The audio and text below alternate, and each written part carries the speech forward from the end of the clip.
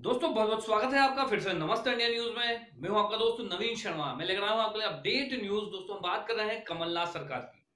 दोस्तों कमलनाथ ने सरकार बनते ही एक के बाद एक नए पिटारे खोल दिए हैं।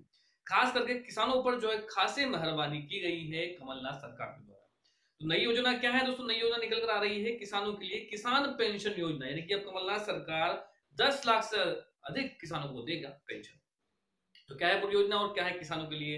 अच्छी खबर, आइए जान लेते हैं लेटेस्ट अपडेट खबर को थोड़ा विस्तार से। दोस्तों, वीडियो शुरू करने से पहले कहना चाहूँगा, आपने चैनल सब्सक्राइब नहीं किया सब्सक्राइब करें और बेल आइकन दबाएँ, जिससे कि अपडेट रहे आप तो जान लेते हैं किसानों के लिए क्या नई योजना ला चुकी है कमलनाथ सरकार ने मध्य प्रदेश में। दोस्तों, सरकार देगी मध्य प्रदेश में 10 लाख किसानों को पेंशन। दोस्तों, शिवराज सिंह चौहान जो थे, किसानों को तीर्थ दर्शन करवाते थे तो कमलनाथ सरकार जो है उन्हें पेंशन देगी। दोस्तों कमलनाथ सरकार वृद्ध किसानों को पेंशन देने जा रही है। हालाँकि इसमें वृद्ध निर्धन नागरिक ही शामिल हो पाएँगे। दोस्तों, परंतु फ़िलहाल यह तोहफा किसानों के लिए तैयार कर लिया गया है। मंत्रिमंडल की लिस्ट लेकर दिल्ली जाने से पहले सीएम कमलनाथ ने किसानों की पेंशन योजना जल्द शुरू करने के निर्देश जारी कर दिए हैं।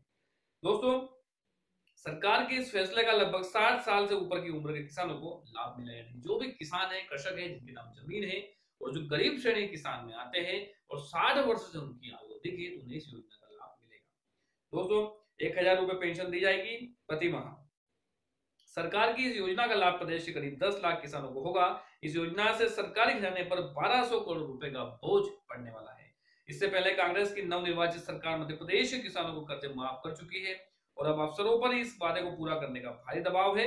मंत्रालय में करीब दो घंटे तक बैंकों के साथ कृषि विभाग के तमाम अधिकारियों से इसकी बैठक चली और कमलनाथ ने अंततः इस निर्णय को पारित कर दिया कि जो भी साठ वर्ष से अधिक उम्र के किसान हैं, उन्हें पेंशन दी जाएगी एक हज़ार रुपए प्रति माह साठ साल से ऊपर किसानों को।